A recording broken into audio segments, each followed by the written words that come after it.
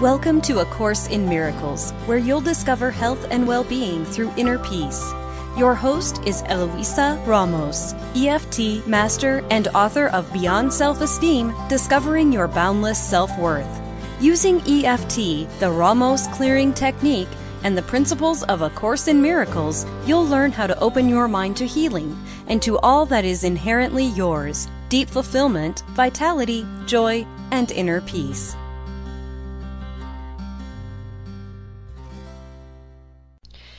Bienvenidos a todos. Mi nombre es Eloísa Ramos y me da mucho gusto estar con ustedes estudiando las ideas de un curso de milagros.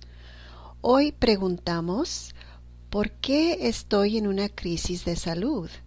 ¿Por qué sano de algo solo para necesitar sanación de otra cosa? ¿Y cómo es que otros pueden sanar, pero aparentemente yo no? Deseamos explorar estas preguntas en relación con lo que enseña un curso de milagros y llama la última curación o el juicio final en el capítulo 2 del texto. Intentamos entender el papel que nuestra voluntad tiene en la fabricación de nuestras experiencias de falta de salud. La enfermedad y la sanación son experiencias que para muchos de nosotros parecen como algo que nos sucede, sin participación de nuestra voluntad y bajo el control de Dios, de la suerte, del destino, de los médicos, del estrés, de lo que comemos, etc., pero no de nosotros. Parece como si no sabemos su causa, y nos imaginamos que tal vez Dios nos castiga con la enfermedad y nos premia con la sanación. Tal vez adivinamos que hicimos algo para enfermarnos y ahora tenemos que adivinarle qué nos va a sanar. Pero de cualquier modo, nos sentimos incapacitados porque parece que el control y el remedio no está en nuestras manos. Si creemos que la enfermedad y la sanación suceden independientemente de nosotros y su causa está aparte de nosotros, por supuesto que vamos a creer que nuestra voluntad no tiene nada que ver con lo que experimentamos.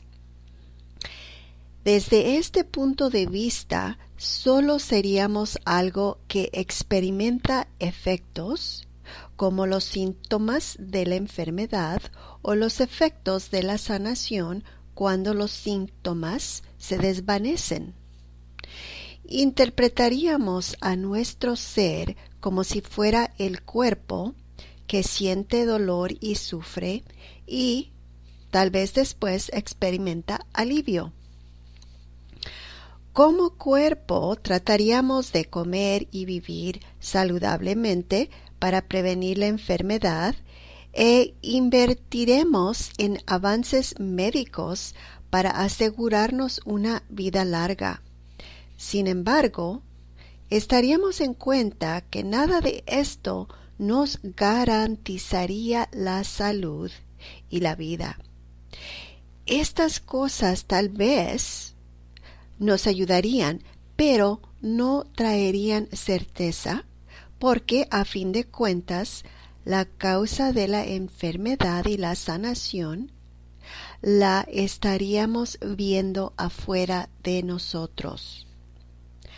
Nos damos cuenta que nuestra forma de vida y lo que consumimos no contiene en sí ese poder de sanar y enfermar. Creer que sí tiene este poder causante y creativo sería creer en magia. Y tenemos la tendencia de creer en magia precisamente porque desde una perspectiva de ser cuerpo, la causa de la enfermedad y de la curación parece estar afuera de nuestro alcance. Aún cuando creemos en magia y le damos poder creativo a la materia, vemos a este poder creativo y causante como si estuviera bajo el control de otro y no de nosotros. Y por eso buscamos soluciones fuera de nosotros mismos. Desde el punto de vista de ser cuerpos, es muy difícil aceptar que nuestros deseos y decisiones no solo tienen algo que ver con nuestra enfermedad y sanación, sino que tienen todo que ver. Al vernos como cuerpo, le negamos a nuestra mente y voluntad el poder creativo y causante que se les fue otorgado por Dios en su creación. Cuando nos encontramos en una crisis de salud, nos estamos viendo como si fuéramos un cuerpo desamparado, débil e impotente. Negamos ser el autor de la historia de nuestra vida porque le negamos a nuestra voluntad su poder creativo que se ejerce con la decisión. Nuestra voluntad no está libre porque creemos que algo separado o alguna otra parte de nosotros deciden por nosotros y es causante. Es como ser conducido por la vida en un coche que corre con alta velocidad y no para en las luces rojas.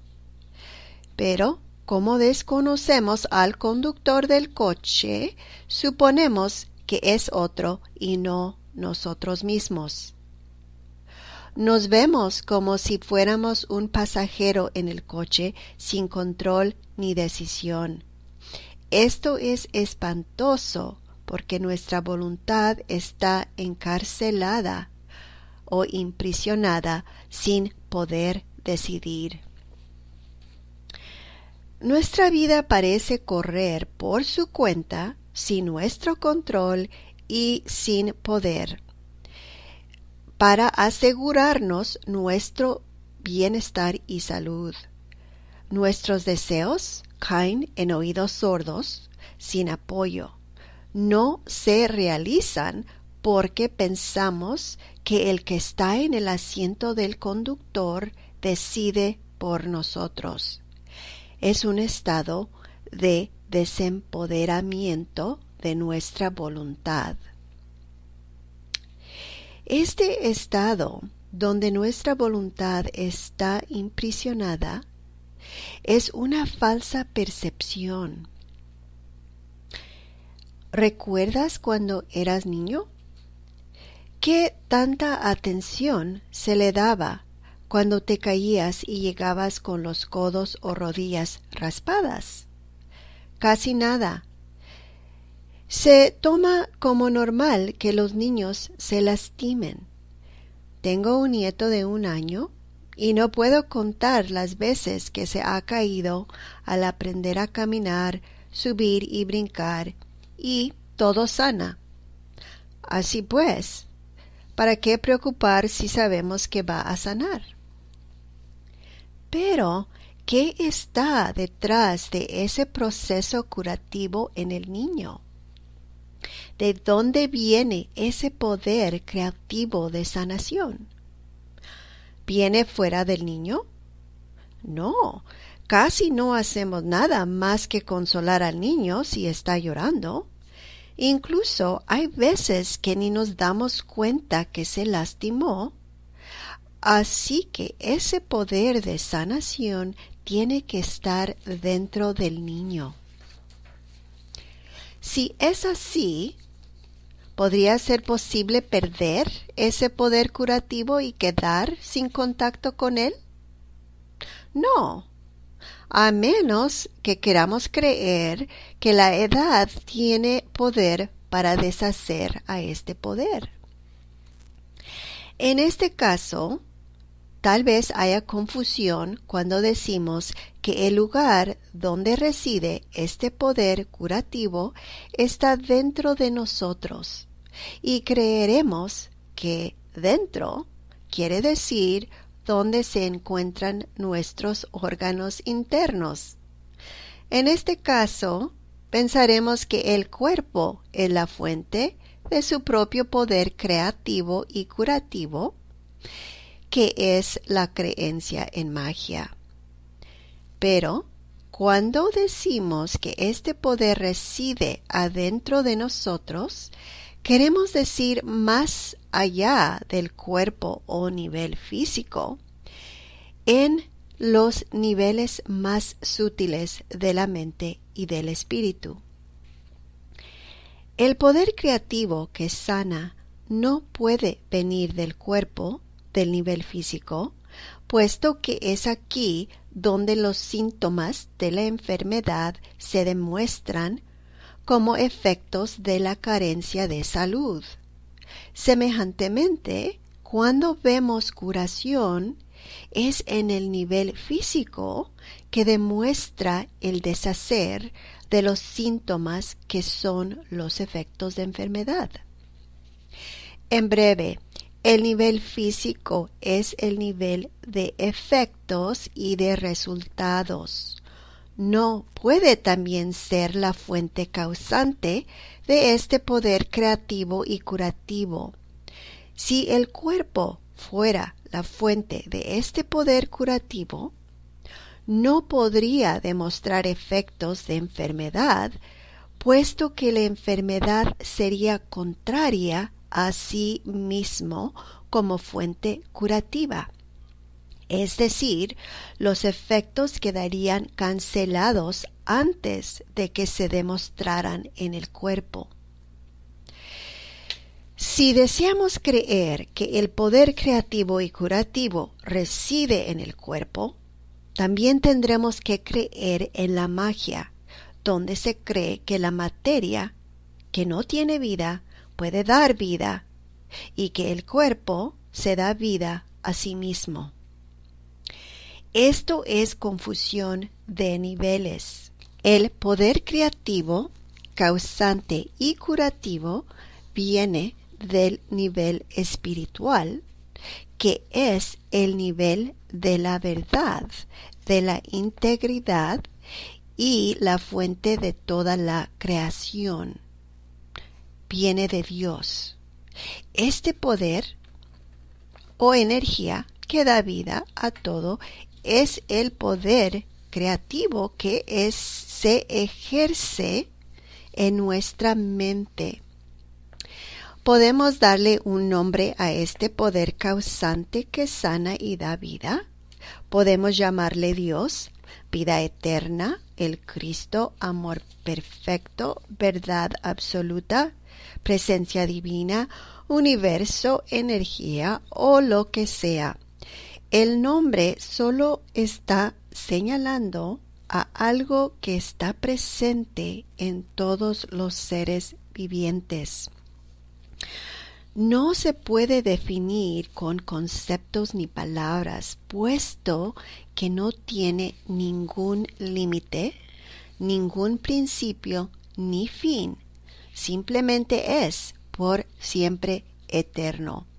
Este poder nos creó y nos da vida, y esa vida es eterna porque ese poder es eterno. En nuestra creación heredamos la capacidad creativa de nuestro Creador y expresamos ese poder creativo en nuestra mente por medio de nuestra voluntad cuando la ejercemos al desear y tomar decisiones.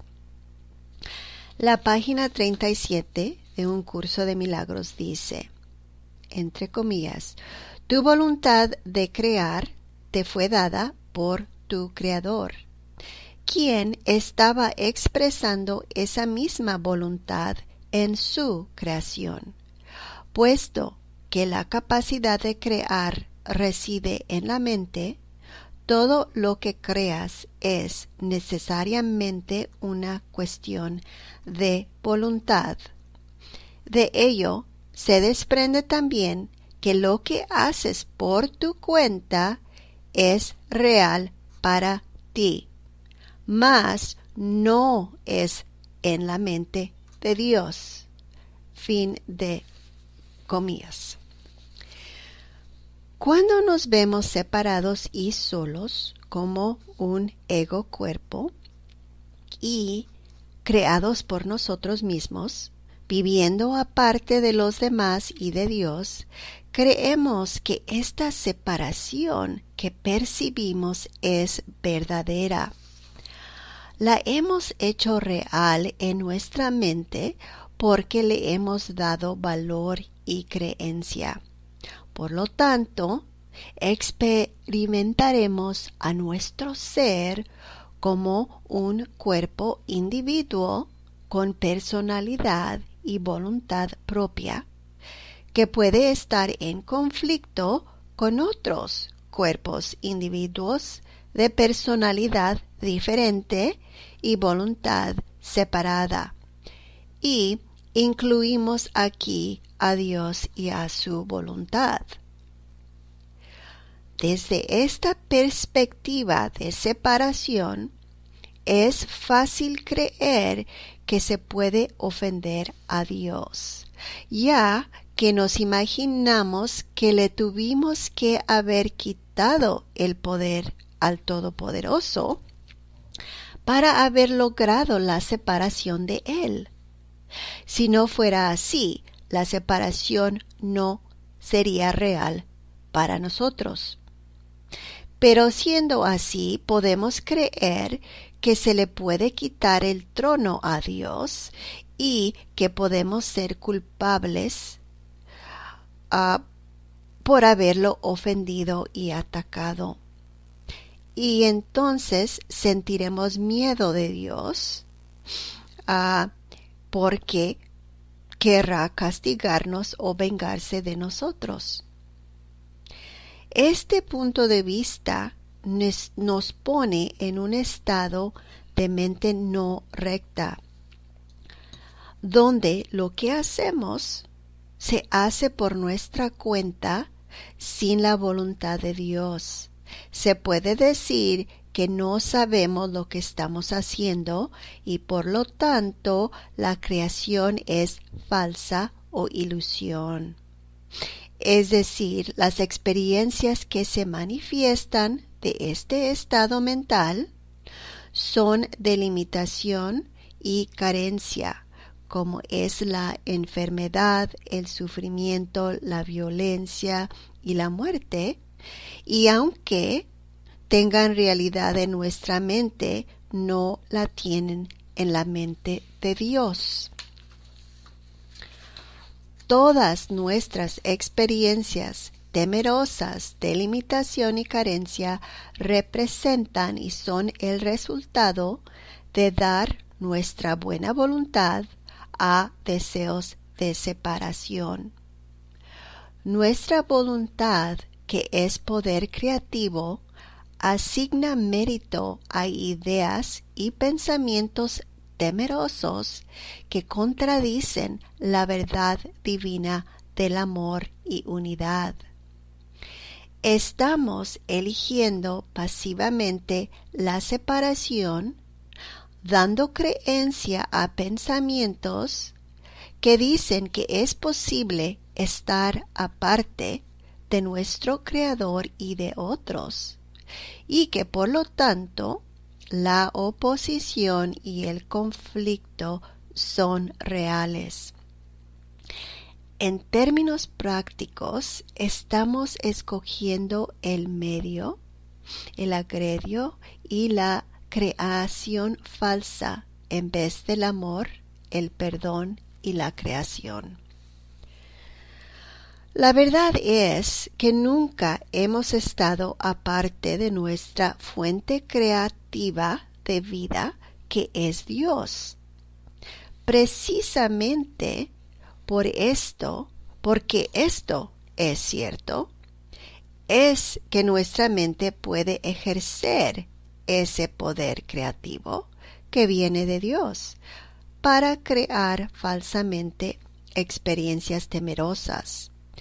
Pero, aunque estamos usando este poder creativo inadecuadamente, recuerda que lo que se crea falsamente y por nuestra cuenta solo tiene realidad en nuestra mente y no en la de Dios. Esto significa que toda experiencia de limitación, carencia, enfermedad, etc., no tiene realidad absoluta, solo tiene realidad personal en nuestra mente y por lo tanto sus efectos no tienen poder verdadero. Lo importante de reconocer es que como la separación nunca se logró, porque nunca ha tenido realidad para Dios, no podemos ser culpables de ofender a Dios. Cualquier ofensa es solo ofensa en nuestra forma de pensar y no existe en la mente de Dios, ya que Dios es todopoderoso. Esta distinción entre lo que hacemos por nuestra cuenta y lo que creamos con Dios es muy importante. Lo que hacemos por nuestra cuenta es solo ilusión y tiene realidad solamente en nuestra percepción o opinión. Lo que creamos con Dios nos lleva a la experiencia espiritual de unión, paz, abundancia, amor, felicidad perfecta y refleja la verdad divina de Dios y de lo que somos como hijos de Dios. La página 37 dice, entre comillas, esta distinción básica conduce directamente al verdadero significado del juicio final. Del mismo modo en que la separación abarcó un periodo de millones de años, así el juicio final se extenderá por un periodo igualmente largo. Su duración, no obstante, puede acortarse enormemente mediante los milagros. El recurso que acorta el tiempo pero no lo abole. Es esencial, no obstante, que te libres a ti mismo del miedo cuanto antes, pues tienes que escapar del conflicto si es que has de llevar paz a otras mentes. La distinción entre las creaciones falsas que hacemos por nuestra cuenta y lo que creamos con Dios es necesario para el juicio final, que es cuando nuestra mente llega a valorar correctamente y deja de crear falsamente, porque deja de creer en la separación. El conflicto del cual debemos emerger es el conflicto entre el amor y el miedo o la creación y la falsa creación. Sin embargo, no podemos emerger fuera de este conflicto sin liberarnos del miedo, ya que la separación y el miedo van mano a mano. Al sentir miedo, nuestra mente ya tomó decisión por su cuenta, ya le dio valor y creencia a la idea falsa de la separación. El miedo nos dice que elegimos la separación al guardar rencor y agravio en vez de elegir el perdón. El miedo representa carencia de amor puesto que hay solamente dos emociones, amor y miedo.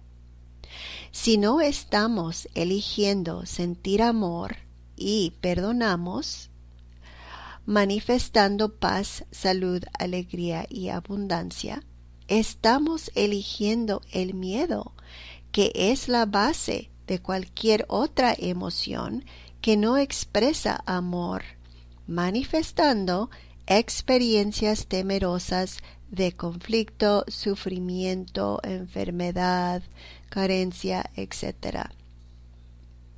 El único remedio para el miedo o la carencia del amor es el amor perfecto, que es la expiación. Cuando aceptamos la expiación, perdonamos porque hemos aceptado que nuestra mente es el único nivel causante y creativo. Y así dejamos todo juicio y condenación porque reconocemos que nuestras experiencias temerosas son creaciones falsas o interpretaciones equivocadas de nuestra mente y no tienen ninguna realidad en la mente de Dios. El temor nos dice que estamos confundiendo niveles, dándole el poder creativo de nuestra mente a la materia o nivel físico. Esto significa que estamos permitiendo que nuestra voluntad elija la magia en vez de los milagros. La página 37 dice, entre comillas, una de las maneras en que puedes corregir la confusión entre la magia y los milagros es recordando que tú no te creaste a ti mismo. Tiendes a olvidarte de esto cuando te vuelves egocéntrico, lo cual te coloca en una posición en la que es prácticamente inevitable creer en la magia. Fin de comillas. La enfermedad, como toda carencia, implica una creencia en magia porque no se ha aceptado la expiación. Nuestra mente fabrica la enfermedad por su cuenta y por eso es una falsa creación se puede sanar con el milagro, porque el milagro corrige el error de creer en magia en nuestra mente. Esto nos permite aceptar la expiación y entonces nuestra mente reconoce que no fuimos creados por nosotros mismos, sino por Dios. En este reconocimiento se corrige el error, porque al ser creados por Dios en su semejanza, nuestra mente deja de creer en la carencia y se da cuenta de su perfección divina, que es su ser verdadero. Este es el milagro que desvanece la enfermedad porque representa lo que somos en verdad. La enfermedad no viene de la voluntad de Dios, no es creación verdadera, viene de una voluntad que se cree separada. Y por eso la enfermedad se experimenta en una forma personal en separación de otros y de Dios. A la creencia en la separación y división le llamamos ego. El sistema de pensamientos del ego nos dice que somos cuerpos ego separados, solos y creados por nosotros mismos. Los pensamientos del ego son falsos porque la separación es falsa y por lo tanto no tienen ningún poder en verdad. El problema es que les damos nuestro poder creativo al darles valor y nuestra creencia. Por esta razón, un curso de milagros nos dice que es importante recordar que no nos creamos a nosotros mismos y no es posible que estemos separados. La página 34 dice, entre comillas, el objetivo del juicio final es restituirte tu mentalidad recta. Se podría decir que el juicio final es un proceso de correcta evaluación. Significa simplemente que todos llegarán por fin a entender qué es lo que tiene valor y qué es lo que no lo tiene. Después de que esto ocurra, la capacidad para elegir podrá ser dirigida racionalmente. Pero hasta que no se haga esa distinción, las oscilaciones entre la voluntad libre y la aprisionada no podrán sino continuar. Fin de comillas. Nuestra mentalidad recta reconoce lo que tiene valor en verdad y es real. Nuestra mentalidad no recta no puede evaluar correctamente a los pensamientos del ego porque no puede distinguir entre lo real y lo irreal. Puede ser duro creer que damos valor y manifestamos a nuestras experiencias temerosas como la enfermedad, la violencia, la carencia, el sufrimiento y la muerte, porque cuando decidimos por ellas, nuestra mente no está razonando y está en un estado de mentalidad no recta. Precisamente es por esto que nuestra mente necesita abrirse a la corrección y no defender a su sistema de pensamiento del ego. La corrección o el milagro no vienen por nuestra cuenta, vienen de Dios, pero nuestra voluntad sí es necesaria para querer recibir el milagro y la corrección. Cuando reconozcamos que el sistema de pensamiento del ego, que es de miedo, solo nos trae separación y sufrimiento, y ya no queramos darle valor a esto, escogeremos el milagro en vez del agredir.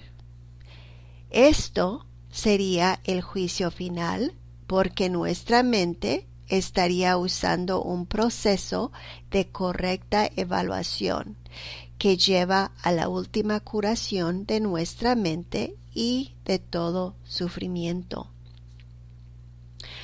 Como practicante de las técnicas de EFT, técnicas de liberación emocional, y las técnicas de claridad Ramos, ayudo a mis clientes con este proceso para identificar las percepciones falsas del problema que experimentan para que vuelvan a decidir y dejen de darle valor a la falta de amor. Todas las memorias temerosas que guardamos apoyan al sistema de pensamiento del ego para que sigamos creyendo en él. En las memorias dramáticas, donde nuestra vida parece ser amenazada, nos reducimos a ser un cuerpo débil que puede ser atacado, lastimado y que puede morir. En estas memorias la vida no es eterna, y la muerte es real, con poder para amenazar y vencer a la vida. Estamos confundiendo el cuerpo con la vida que es eterna. Cuando guardamos tales memorias temerosas estamos evaluando su mensaje de lo que somos como cierto y digno de mérito para ser recordado. Muchos de nosotros estamos apegados a estas memorias porque traen miedo y le damos valor al miedo.